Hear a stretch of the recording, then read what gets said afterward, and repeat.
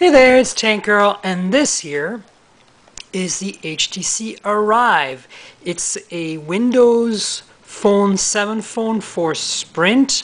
Not only that, but it has a slide-out keyboard and a tilting screen, and it's the first CDMA Windows Phone 7 device and the first Windows Phone 7 device with copy and paste, which as you know is one of the updates that's been announced for the existing Windows Phone phones. So let's unbox this and have a look, shall we? So this is what the box looks like. There's this uh, guy that's always in all the Sprint things, very happy in his office chair. Apparently he's some sort of suit dude. And then on the back here, there's a little uh, text here, experience 3G speed. So this does not have WiMAX. It's not a 4G phone for Sprint, but it is a Windows Phone 7 phone for Sprint. So Let's open her up. Da, da, da, Here we go. Here's the phone. So as you can see, this looks kind of familiar. It's the same shape and size as the uh, uh, T-Mobile G2 HTC Desire Z. And um, same kind of back battery cover as well.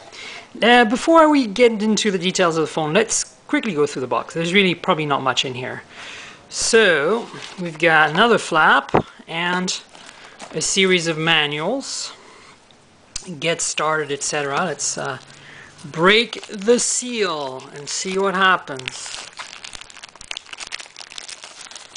Uh, probably nothing very useful in here, to be frank, but it's always good to have a look. So you've got a business reply mail envelope. This is probably for recycling your old phone.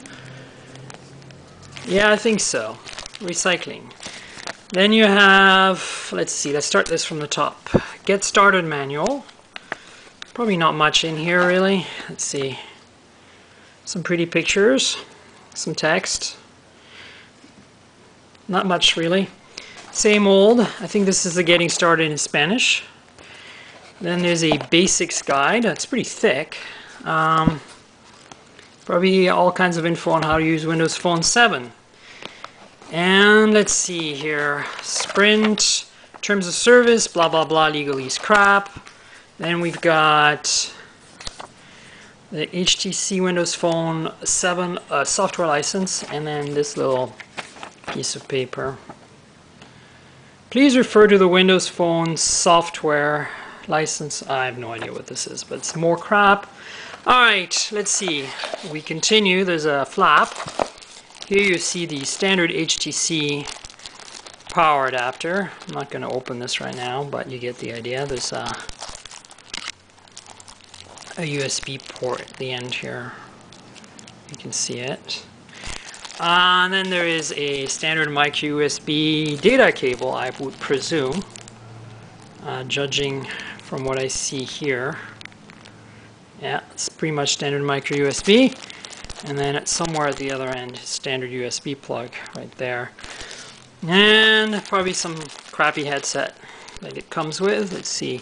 I see four prongs here, so that's pretty much standard 3.5 millimeter headset, probably with inline microphone. No point in opening this. Let's uh, focus on the phone, shall we? So, the phone. Here we go it opens like this and then slides up like this. Slides down and up and open. It's a little cumbersome, quite frankly. But if you push at the right spot here, it seems to pop right open. And if you look in the back, so this very interesting spring-loaded little rim part here so when you close it like this, this thing is spring loaded so that when you push it up, it uh, pushes it up. Interesting. So there's a um, piece of plastic here I'll remove in a second.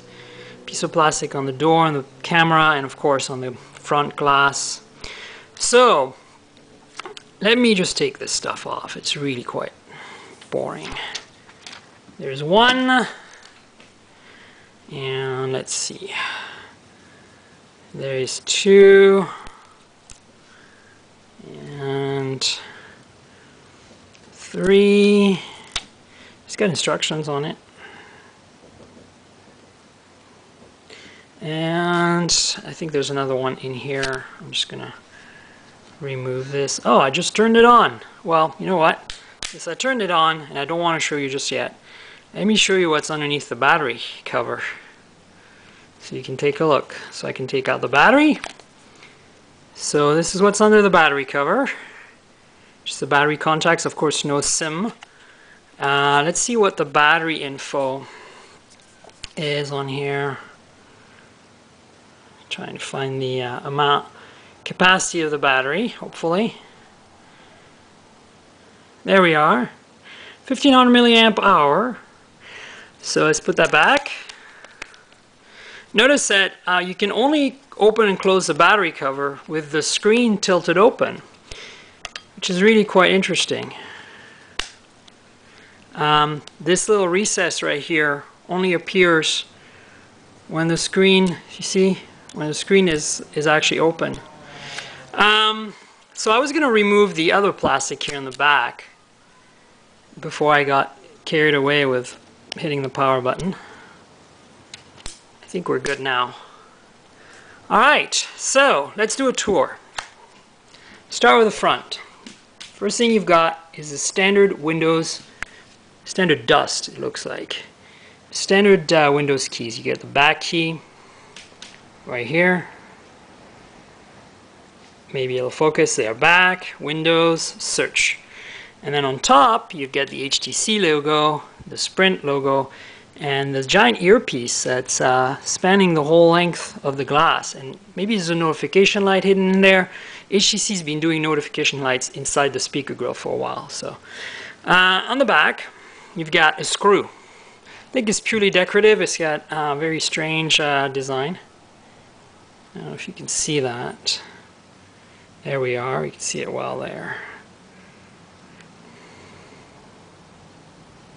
And then uh, the battery cover, Windows Phone and HTC silver. This is very similar to the G2. And then here's the speaker with some kind of cool yellow, yellow accents, some dust.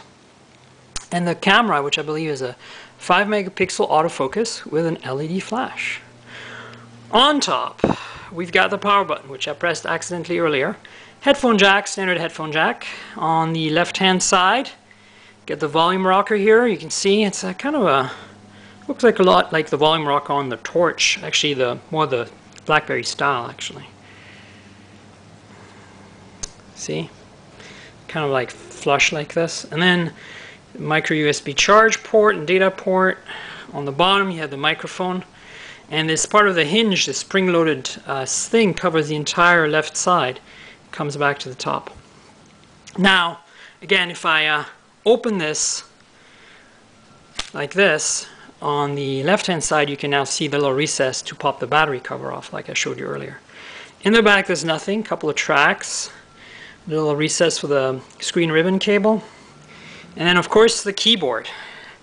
Beautiful traditional HTC uh, keyboard, five row, very beautiful, feels really really nice.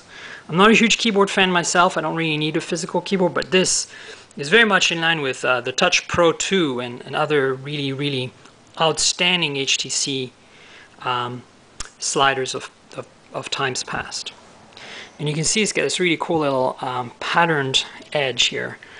Now I showed you underneath the battery cover, I didn't see a micro SD card slot. Um, I didn't look very much, but Remember, a lot of Windows Phone 7 phones have the SD card slot pretty much sealed within because the um, that's how they um, that's the main storage for the phone and it's part of the file system so they don't want you to actually remove the memory card. So um, let's do some size comparisons while we're here. Um, the first thing I want to show you is I have an HTC Surround here which is a Windows Phone 7 phone as well. You can see the difference in screen size. This is a 3.5 inch screen, whereas this is a 3.7 inch screen. Um, so a little smaller screen on the on the Arrive than the uh, than the Surround. Now remember, the Surround has a slider as well. Slides out like this, reveals a set of surround speakers, and has a kickstand in the back here. But essentially, we're looking at pretty much the same guts, other than this is a GSM device, and this here is a CDMA device. Um, the back looks like this, and the thickness, as you can see, the Arrive is a little thicker. It does have a real QWERTY keyboard there.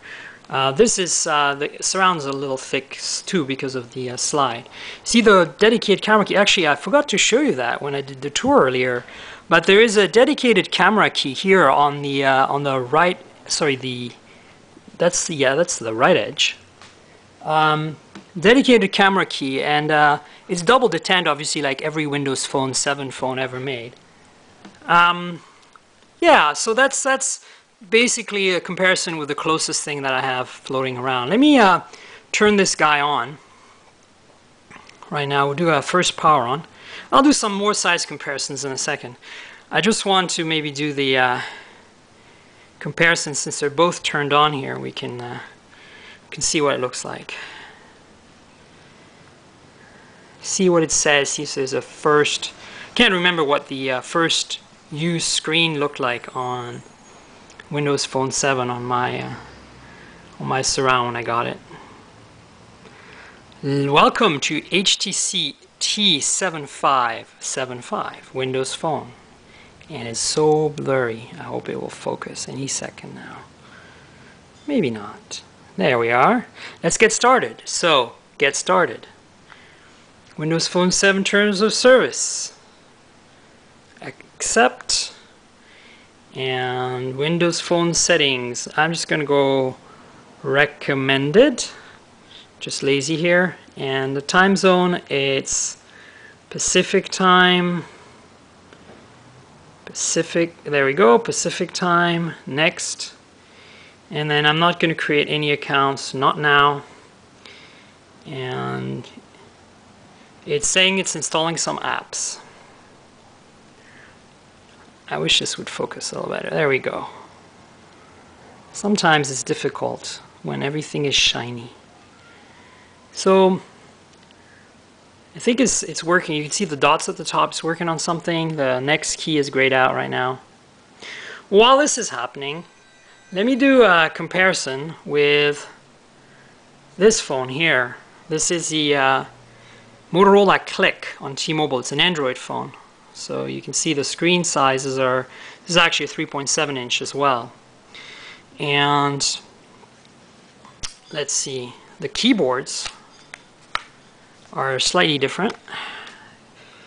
Uh, this has this weird honeycomb keyboard, the Cliq, and doesn't really feel that good. So uh, big improvement here with the HTC keyboard, obviously. I don't have a G2 to show you, otherwise that'd be pretty cool.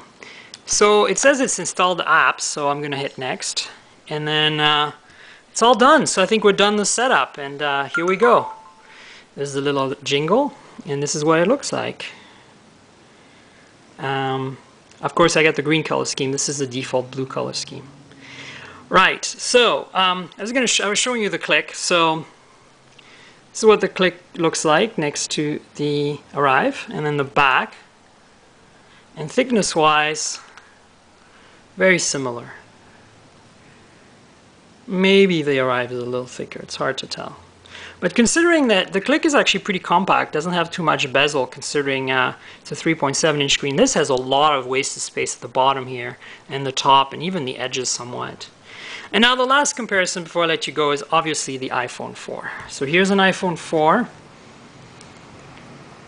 Same size screen. Of course the iPhone 4 has a Retina display, um, which is a different kind of display much higher res. But um, of course, there's also differences in uh, thickness and stuff since the iPhone does not have a slide-out keyboard. So this is what the back looks like. And of course, here's your point of reference. The uh, iPhone is a very thin phone, so you can see that the Arrive is almost double. But hey, you get a beautiful QWERTY keyboard. Anyway, so this is the HTC Arrive for Sprint, the first Windows Phone 7 phone with CDMA and with copy and paste. Hope you enjoy this video. This is Tank Girl. Cheers.